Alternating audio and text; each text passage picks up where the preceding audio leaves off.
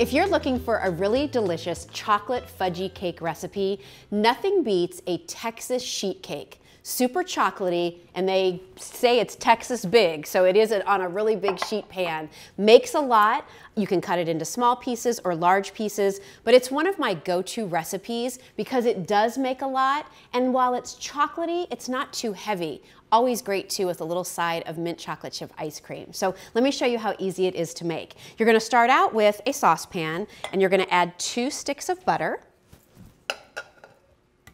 We're gonna add a quarter cup of your processed Dutch cocoa powder. This is unsweetened. And one cup of water. We're gonna put this on our stove on low heat just till that butter melts and this becomes the delicious sort of chocolate sauce that's gonna be mixed into our other baking ingredients.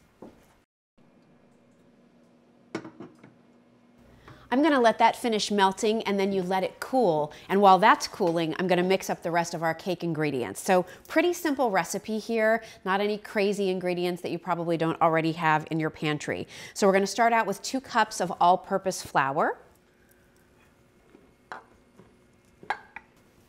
Then we're gonna add two cups of sugar. And then I have some salt and some baking soda. And I like to mix those together in my mixer just to sort of get everything evenly distributed. And once the flour and the sugar all blend together, we're gonna add in our cooled chocolate mixture. So here's our melted chocolate cocoa mixture. Um, I'm gonna pour that slowly into my flour.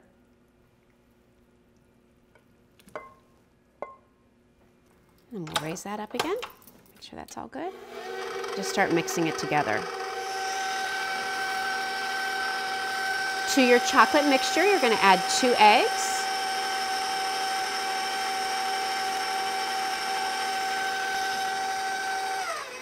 And then a half a cup of sour cream.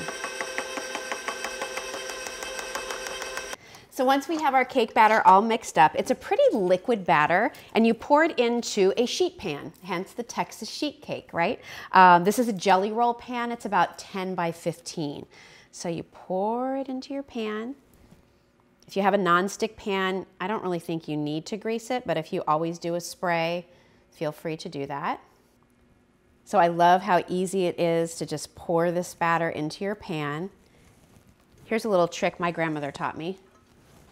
Always do a couple drops on your counter.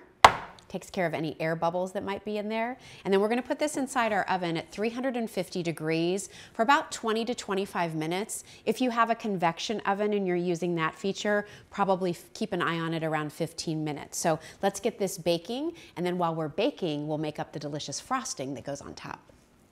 So while the cake is baking, I've started the steps to make the frosting.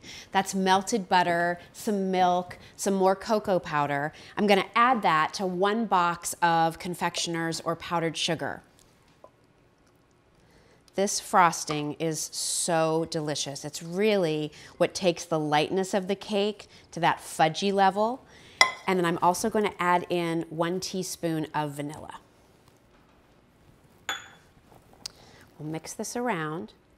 Now the real secret with this cake is that as soon as it's done baking, that's when you want to put the frosting on. I know a lot of times when it comes to baking, you're usually doing things like sitting the cake out for a couple of hours, waiting for it to cool, and then you're going back and frosting it. Not here. Once this all gets mixed together and then you put it on that warm cake, it's like some of it melts down into the cake it's enjoyable. Really gives a moist flavor. It's just so good. You have to try it. So I'm gonna get this all mixed up. I can then set this aside and hopefully my cake will be done in just a few minutes and we'll slather it on there. So our cake is all finished and remember, we're gonna ice this now that it's still warm. That frosting is gonna melt into the cake, then you let it cool. And it's funny, when this frosting cools, it almost becomes a little bit like a glaze, but it's so rich with flavor. It's so good. So spread it around. When it's warm like this, it really glides easily. Add a little bit more there.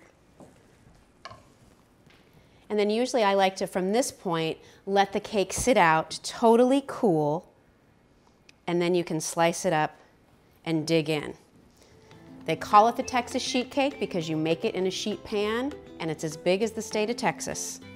I don't care what you call it, I just call it good. Enjoy.